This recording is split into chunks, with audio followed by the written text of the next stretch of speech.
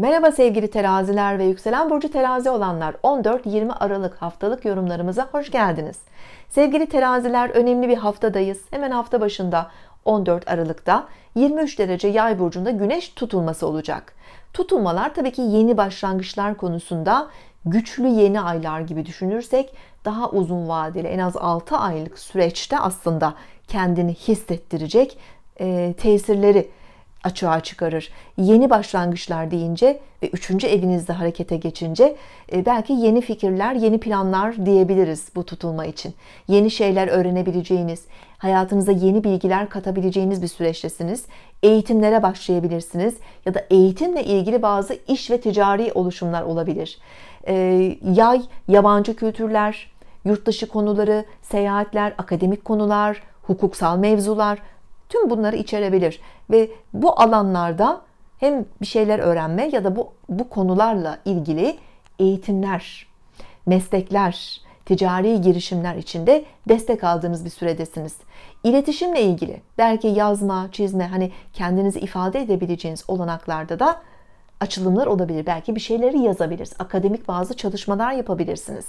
Kitap yazabilirsiniz. Bununla ilgili de konular aktif. Yeni bir dil öğrenebilirsiniz kendinize katmak istediğiniz her türlü kültürel konuda faaliyette bu tutulma sizi çok destekliyor aslında. Tutulmanın genel etkilerini anlattığım videoyu henüz izlemediyseniz Astrofone Demet Baltacı YouTube kanalımızdaki güneş tutulması videomuzu da izleyebilirsiniz. Evet bu hafta 15 Aralık'tan itibaren gezegeniniz Venüs yay burcuna geçiyor. Venüs 8 Ocak'a kadar yay burcunda olacak ve bu süreç içerisinde aslında size güzel tesirler getirecek. Biraz daha belki maceracı olacaksınız. Biraz daha deneyimsel olacaksınız. Yeni şeyleri merak edeceksiniz. Şu ana kadar ilgilenmediğiniz bir şeylerle ilgilenebilirsiniz. Bol bol okuyabilirsiniz, araştırabilirsiniz. İnternette, sosyal medyada daha aktif olabilirsiniz. Buralarda yeni tanışmalar da olabilir, onu söyleyebilirim. Hani biraz internette, sosyal medyada yeni insanlarla tanışmanız, hatta bazı romantik etkileşimler içerisinde olmanız bile mümkün. Ee, her türlü eğitimle ilgili daha şanslı bir dönemde olacaksınız.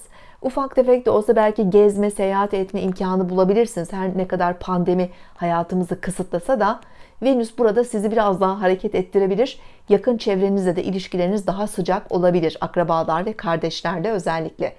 Ve ayın 17'sinde artık Satürn tamamen Kova burcunda ilerlemeye başlıyor. Mart 2023'e kadar hava elementi kovada Satürn hem çok güçlüdür hem de size çok güzel bir açıda olacak. Hemen ardından iki gün sonra 19 Aralık'ta şans gezegenimiz büyük şans Jüpiter'de kova burcuna geçiyor ki 2021'in aralığına kadar kalacak. Evet demek ki 2021'de siz hem Jüpiter'den hem Satürn'den olumlu destek alan en şanslı burçlarımızdan birisiniz. Bunu söyleyebilirim. Yıllık videolarımızda da detaylarından bahsettim. İzleyebilirsiniz.